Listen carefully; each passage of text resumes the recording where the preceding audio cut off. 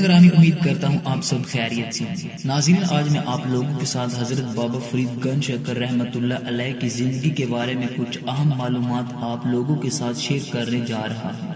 आप अलैह का इसम मुबारक मसूद था और लकब फरीदुद्दीन अवाम में गन शकर के लकब से मशहूर थे। आप रहमतुल्लाह के वालिद हज़रत काजी जमालुद्दीन सुलेमान एक असीम रूहानी शख्सियत थे। नासरीन ग्रामी हज़रत बाबा फरीद गन शक्कर रहमतुल्लाह का शजर नस्ब हज़रत सैयद ना फारूक आज़म रहमतुल्लाह से मिलता था। आप रहमतुल्लाह कोतवाल जिला मुल्तान में पैदा हुए, आप रहमतुल्लाह ने इब्तदाई तालीम एक मदरसा से हासिल की। आप रहमतुल्लाह ने कुरान पाक हिफज किया और 18 साल की उम्र में तालीम हासिल करने के लिए मुल्तान आ गए। इसके बाद आप रहमतुल्लाह अलैह दिल्ली तशरीफ़ ले गए। यहाँ आपकी मुलाकात ख्वाजा कुतुबुद्दीन मुख्तियार काकी रहमतुल्ला से हुई, जिनके दस्त मुबारक पर आपने बैठ की।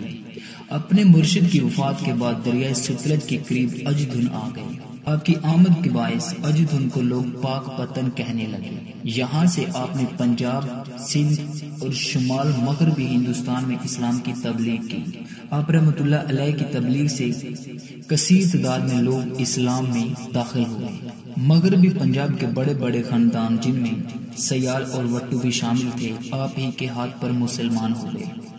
आप रहमतुल्लाह अलैह ने सन बारह सौ पैंसठ ईस्वी में इंतकाल फरमाया, आप रहमतुल्लाह का मिजार मुबारक पाक पत्तन में है।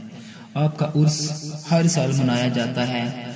उर्स की खास तकरीब बस्ती दरवाजे में से लाखों अकीदतमंदों का गुजरना है।